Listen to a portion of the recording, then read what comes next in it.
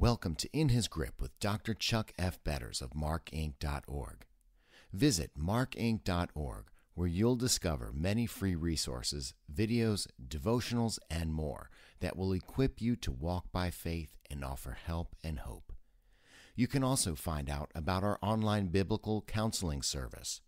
That's markinc dot org. Turn to 1 Corinthians chapter 11. 1 Corinthians chapter 11. I've entitled this message, The High View of Woman, because I think, frankly, today we have experienced the low view of woman and of womanhood. And I do not claim to be an expert on womanhood. Clearly, I'm not. But I believe the Word of God is. And it is in that context, as we open the book, that I'm reminded of an illustration. Some time ago, I was watching a uh, sitcom on TV, one that was kind of pioneered back in the uh, 70s, All in the Family. How many of you ever seen All in the Family? How many of you have never seen All in the Family? Well, everybody has seen it one time or another, I'm sure. But it was interesting, and I can't remember exactly what the scripture was that was being quoted.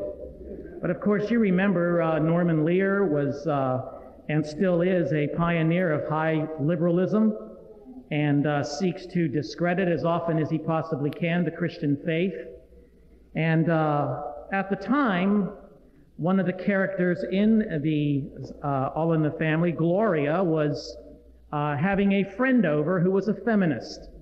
And they were going to have a political rally of some sort. And so in the discussion back and forth with the uh, traditional male chauvinist pig Archie, uh, we have a dialogue that goes back and forth between Gloria and her father. And in the context of that discussion on feminism, this passage from 1 Corinthians 11 and a similar one from 1 Timothy chapter 3 is read and then at the conclusion of reading this passage, Gloria closes the Bible and says, Now, isn't that awful? And here's the passage 1 Corinthians chapter 11, verse 3. Now, I want you to realize that the head of every man is Christ, and the head of the woman is man, and the head of Christ is God. Isn't that awful?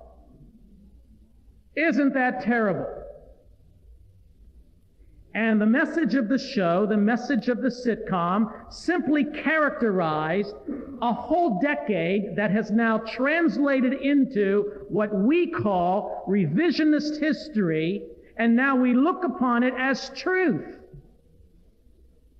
And I believe what we have done in the past 30 years in this country is we have taken the low view of womanhood.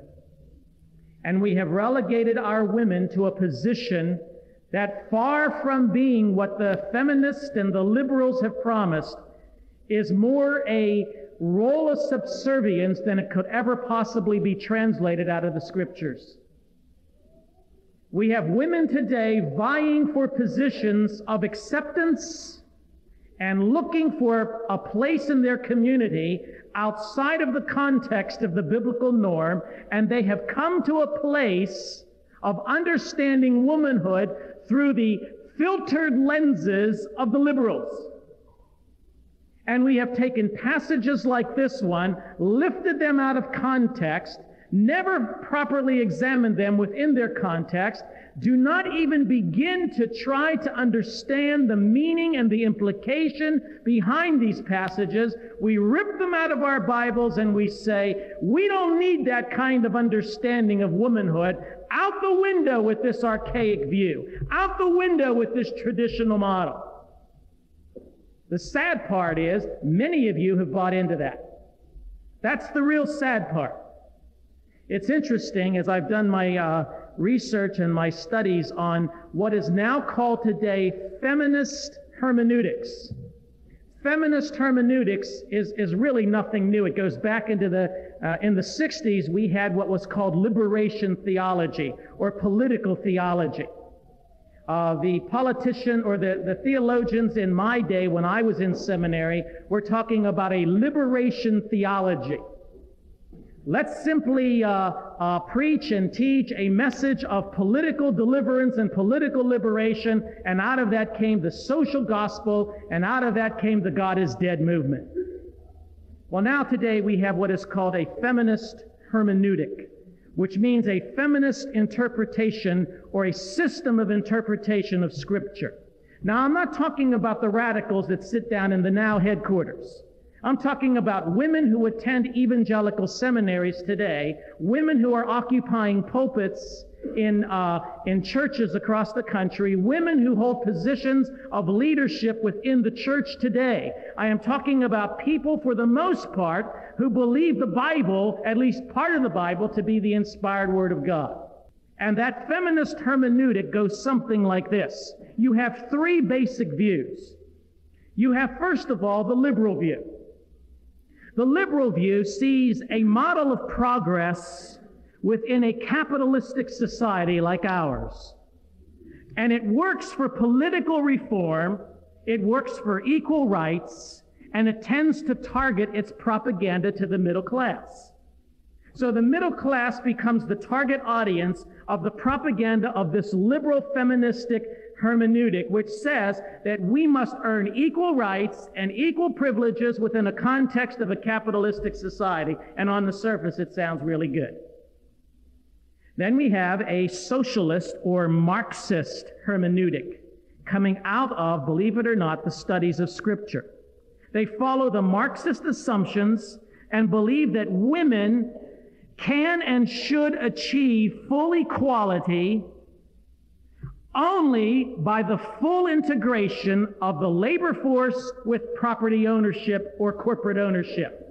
So women literally are to take over the ownership of the political structures, ownership of, of labor, ownership of business per se, and thus form or bring into mind or bring into our conscience a Marxist or socialistic society. That's a second hermeneutic. And by the way, they use scriptures to justify this. And then there is a uh, Roman, uh, um, uh, a Romanistic or uh, a uh, idealistic view. Some have even gone as far as to call this a, uh, a mildly romantic view that women are inherently superior to men. That women are by nature superior, superior to men.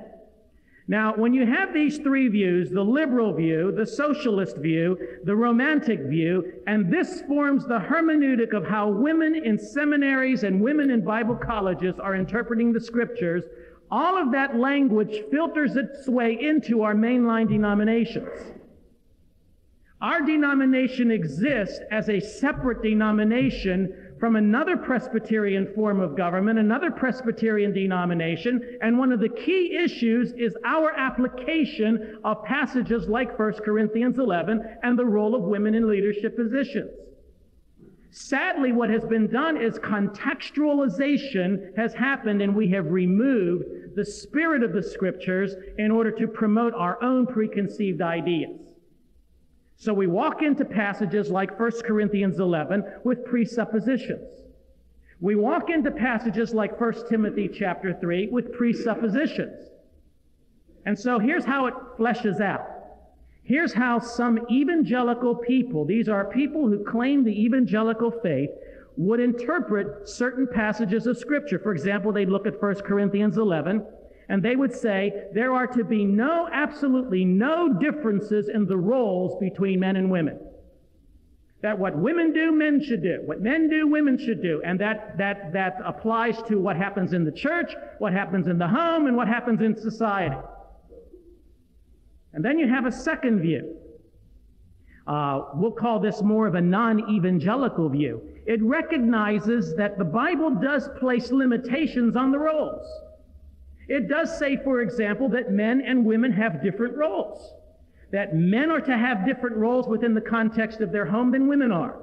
That men are to have different uh, roles within the context of the church than women are. Now, there are non-evangelicals who will stand up and say, we admit the Bible says that. However, those parts of the Bible are not inspired.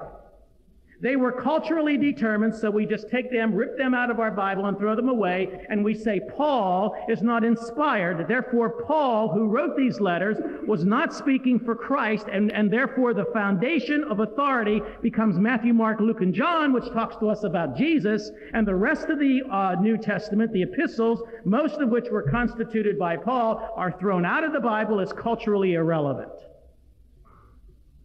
Now, when you have this socialist, Marxist, liberal, romantic uh, approach to Scripture, it eventually is going to bring you to bear on troublesome passages.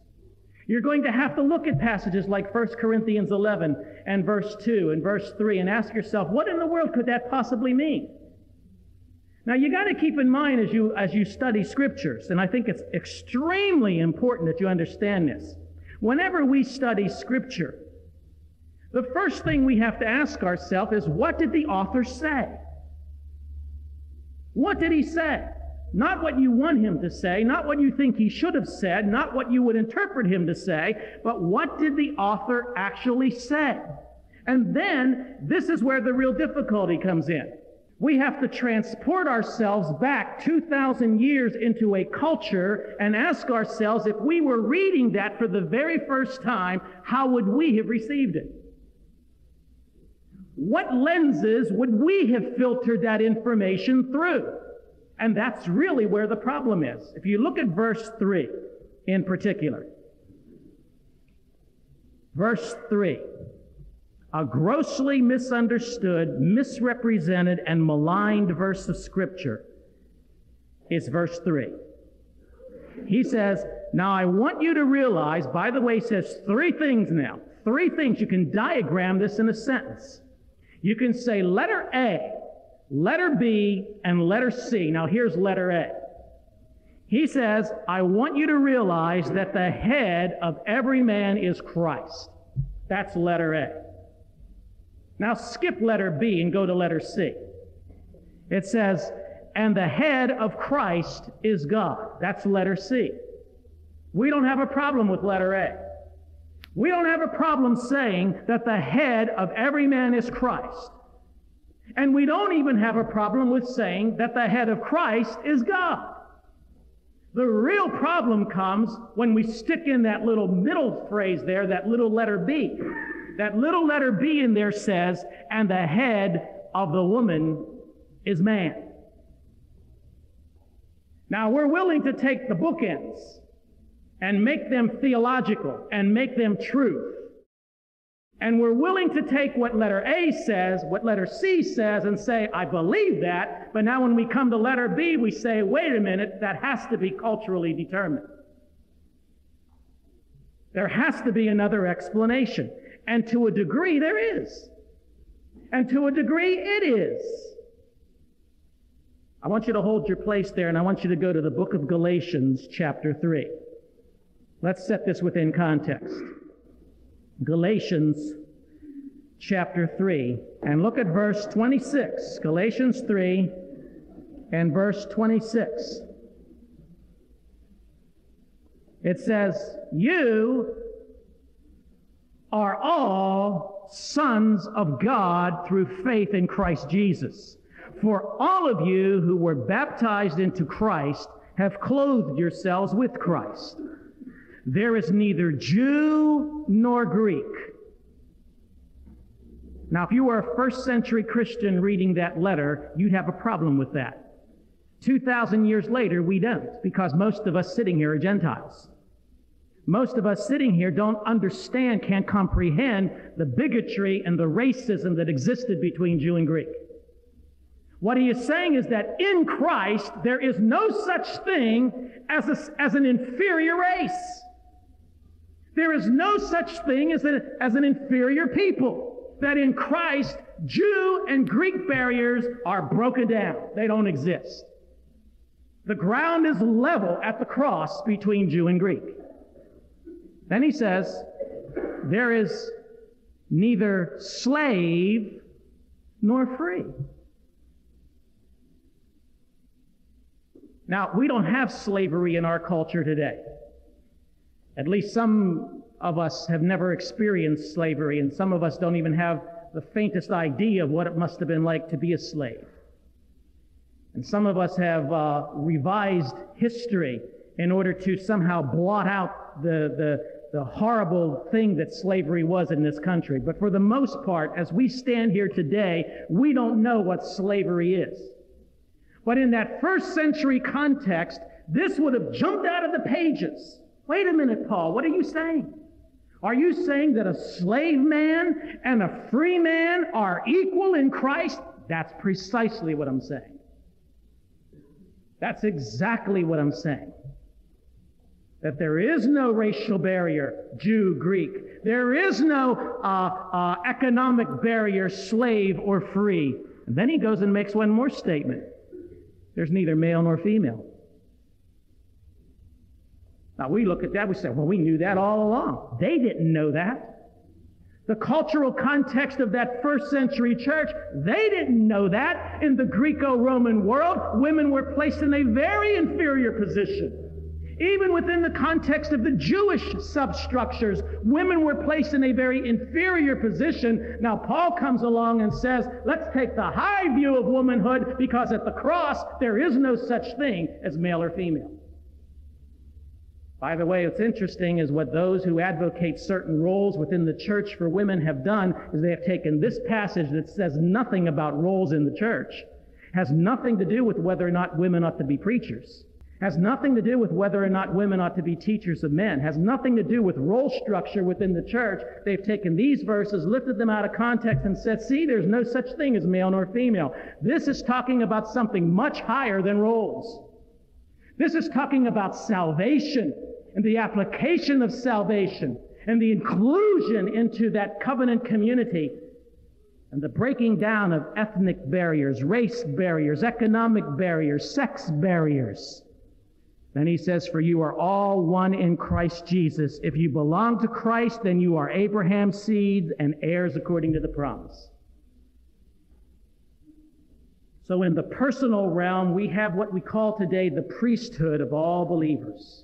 That is, as Christians, we believe that every one of you who know and love Jesus Christ, regardless of your race, regardless of your ethnic background, regardless of where you stand economically, whether or not you are male or female, whether or not you are fat or skinny, whether or not you are tall or short, all of those barriers are broken down because in Jesus Christ there is a priesthood that belongs to all believers. We can have access directly to God. There is no such thing as male or female.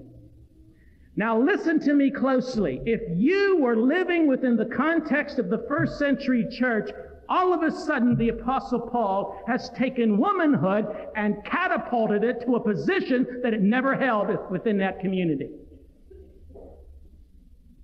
Yet today we go back and we say he was a male chauvinist pig. He deserves nothing in way of our attention to scripture. We rip out portions of the Bible simply because we don't understand what Paul was saying. Now hold your place in, back in 1 Corinthians and hold your place in 1 Corinthians. Go over to Ephesians 5. Ephesians chapter 5. In the personal realm, there is the priesthood of all believers. Now let's, now let's go to the family. Let's talk about the family unit. Ephesians 5, 22. It says, Wives, submit to your husbands as to the Lord. For the husband is the head of the wife, as Christ is the head of the church, his body, of which he is the Savior. Now, as the church submits to Christ, so also wives should submit to their husbands in everything.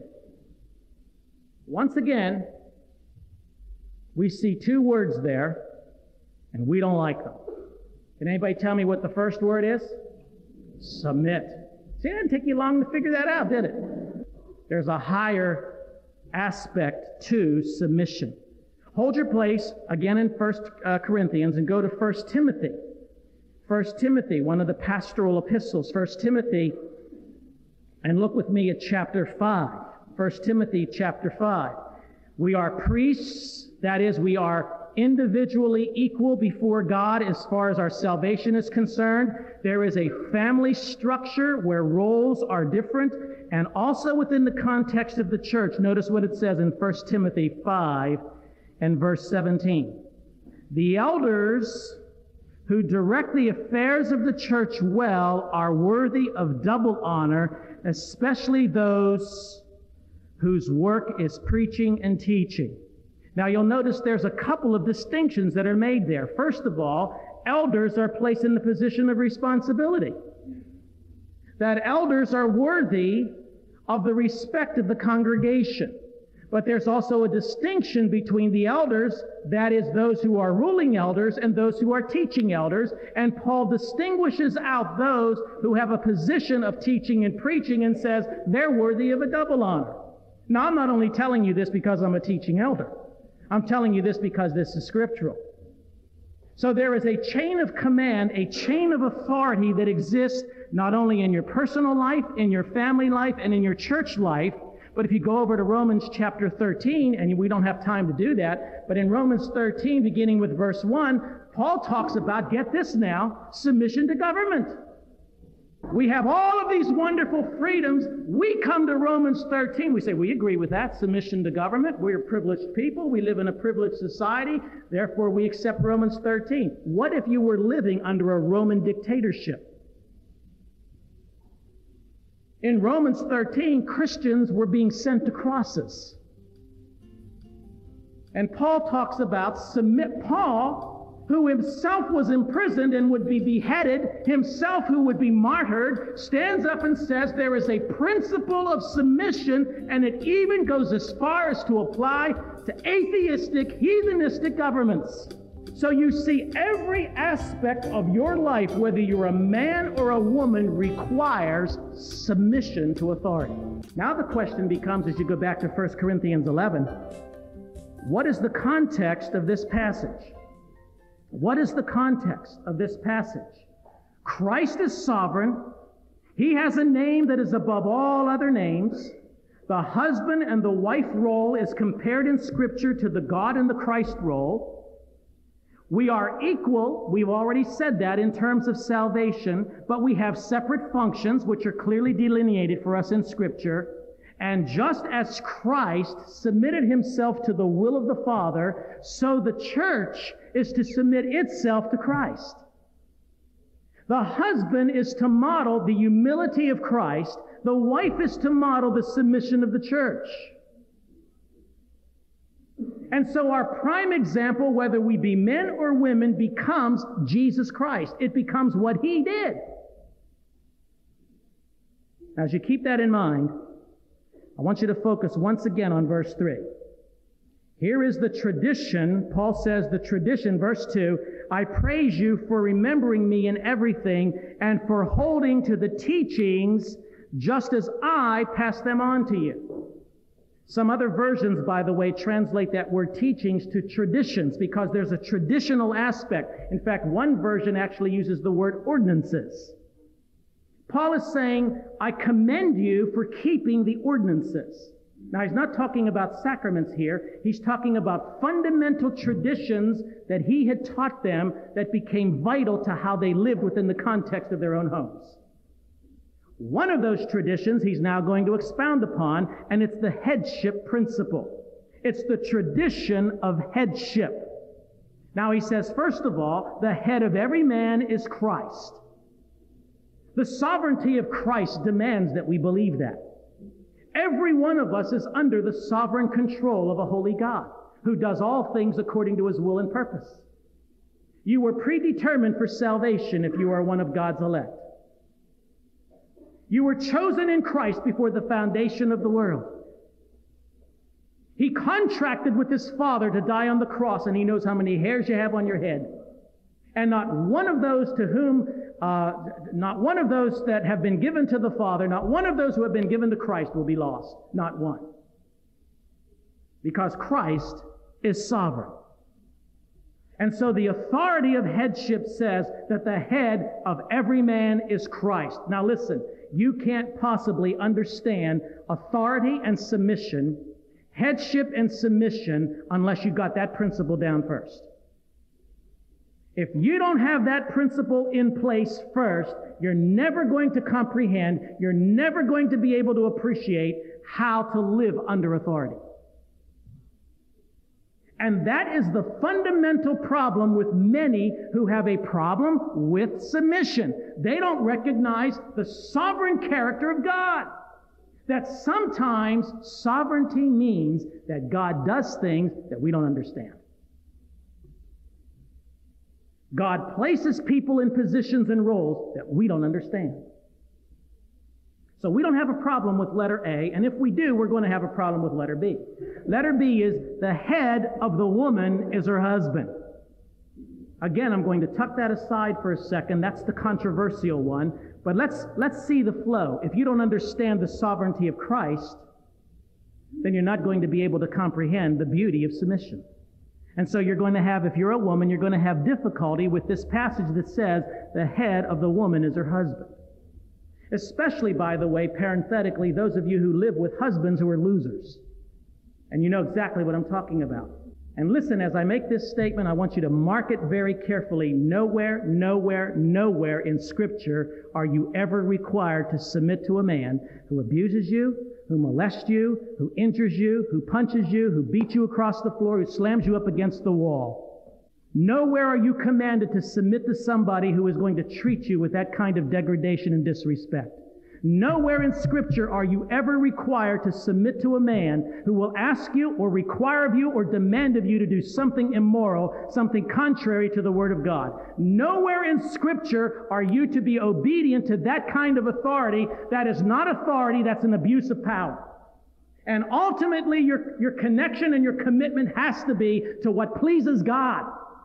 Now listen, I'm not giving you license to divorce. It's not what I'm saying.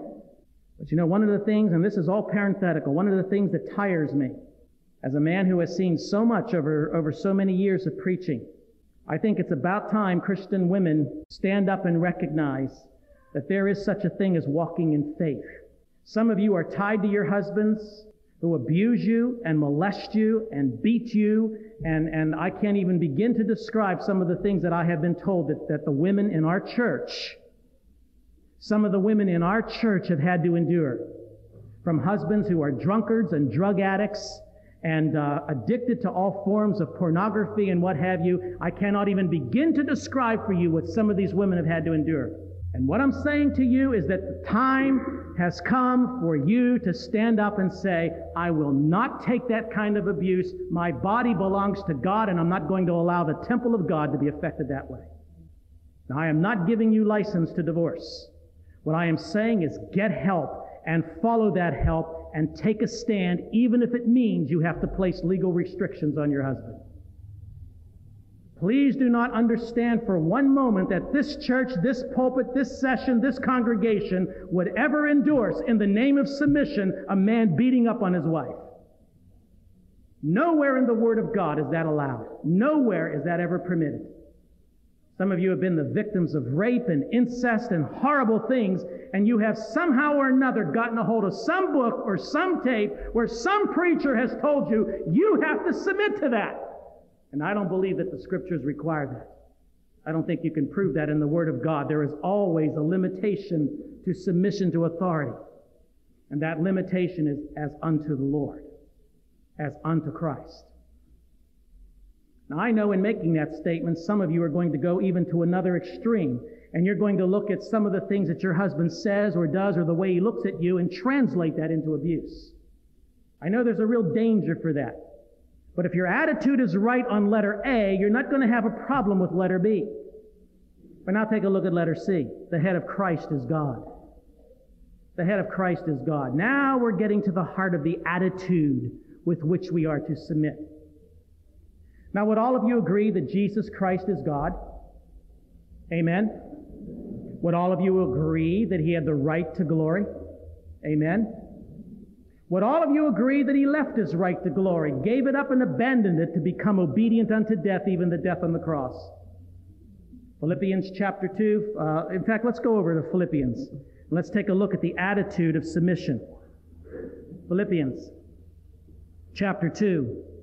He says in verse 5, your attitude, and this is the attitude of submission, whether you be submitted to Christ, or whether you be submitted within the context of your family, or whether you be submitted to the authority of your church, or whatever your role might be. Now, some of you are not even married. You say, well, what, where is my submission to be? In, in fact, the scripture says that if you are single, you have a double responsibility. That God has given you that singleness, perhaps in some cases as a gift, to further advance the kingdom of Christ. That is to work in a, in a double measure because you're not bound by the restrictions of what, it, what is involved in being a husband or a wife. So all of us are involved in some degree to another in submitting ourselves ultimately to God. Now, what should the attitude be? Look at Philippians chapter 2, verse 5. Here's your attitude. Here's the definition of submission. Here's the definition of submission. And you won't find too many of the heroes of our generation filling this bill, will you? You won't find too many politicians with this mindset, do you? You won't find too many economic leaders with this concept of submission. You won't find too many homes with this concept, will you? Here it is. Here's your attitude. Here's the definition of submission. Christ, who, being in very nature God. Now that ought to stop you right in your tracks there, well, shouldn't it? That ought to just put you right into place and say, wait a minute, we're not talking about some mere human being, we're talking about God. Here is God. He did not consider equality with God something to be grasped. Boy, take that down to the local headquarters of NOW. The key to greatness is servanthood. The key to exaltation is to bow the knee, is to become obedient, to give up your rights, not to claim your rights not to demand your rights, not to look for equality, but to give equality up and bow in the same attitude as Jesus Christ did.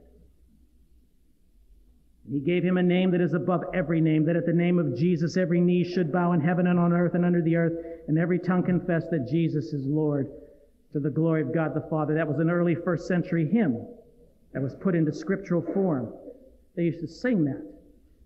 You know, you sing things in order to memorize them. It was important for the church to sing humility so that they would memorize humility.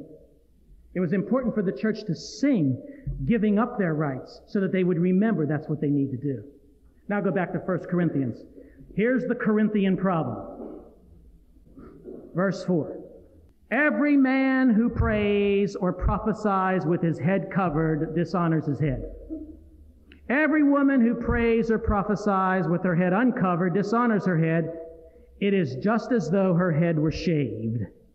If a man does not cover her head, if a woman does not cover her head, she should have her hair cut off. And if it is a disgrace for a woman to have her hair cut or shaved off, she should cover her head. A man ought not to cover his head, since he is the image and glory of God, but the woman is the glory of man. For man did not come from woman, but woman from man. Neither was man created for woman, but woman for man. For this reason, and because of the angels, the woman ought to have a sign of authority on her head. Now, this is not about hats in church. This is what the church has traditionally done with this passage. They have said, we need to get down to a principle where all women are to wear hats in church. This has nothing to do with hats in church. This was an isolated problem in the, in the church at Corinth, and Paul goes beyond the scope of what you should put on your head and how you should wear your hair, and he gets down to a fundamental principle that was a problem at, uh, at that time. Now, there are two evident thoughts here.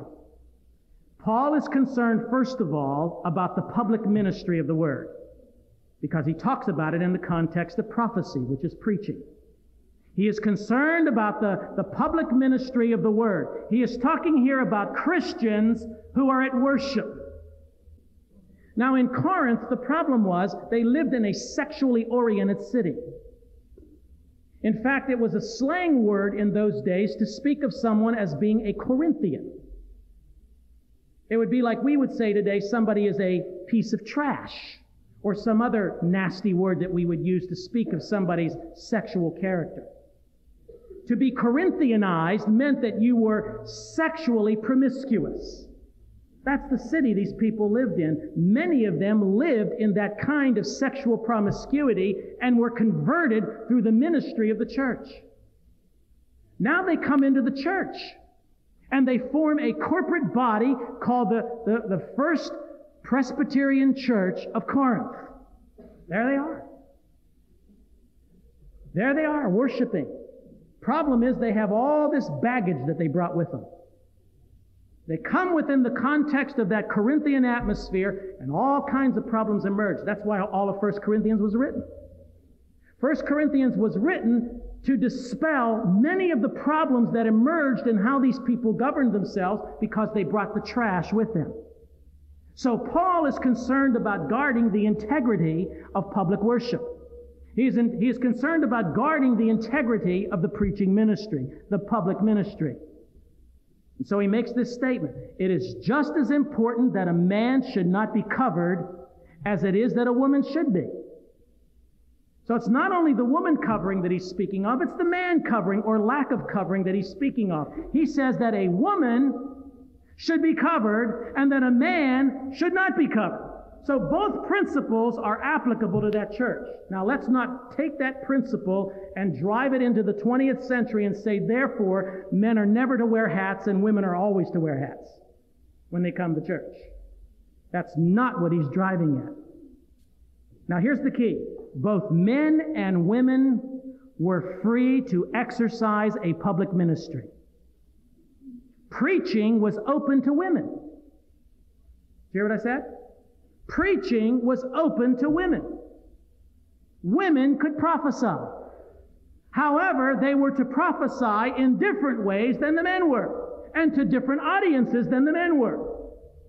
Women were just as gifted in many, in many circles as the men were in expositing the Word, in opening up the structures of Scripture, in communicating Scripture. So the public ministries of men and women were allowable but the limitations were placed on the context in which those ministries could be administered. If a man does not pray or preach bareheaded, he dishonors Christ. And by the way, that's an interesting statement for Paul to make to a conservative Jewish uh, audience that might have been listening to that.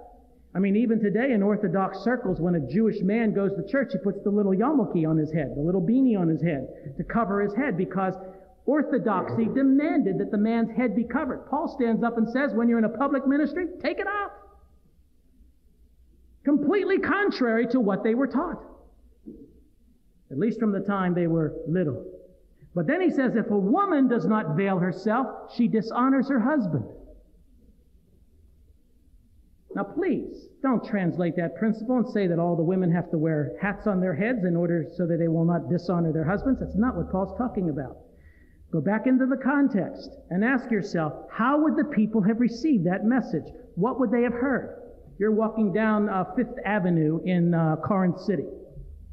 2,000 years ago, you're walking down the street. Coming toward you is a prostitute. Coming toward you is a temple prostitute.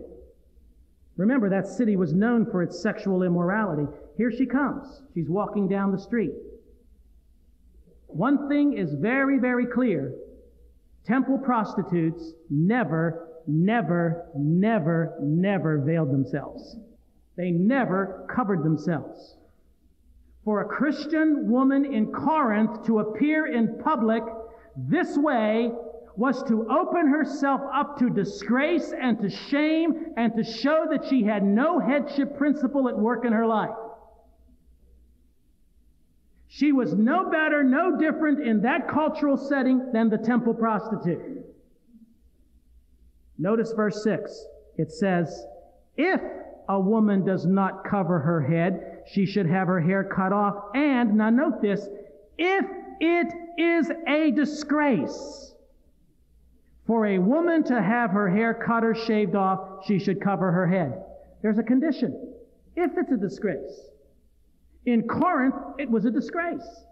In other cities, it was not a disgrace because in Corinth it showed I'm no different than the temple prostitutes. In 20th century America, it's not a disgrace. Why? Because we do not see veil coverings as indicative of whether or not you're a temple prostitute.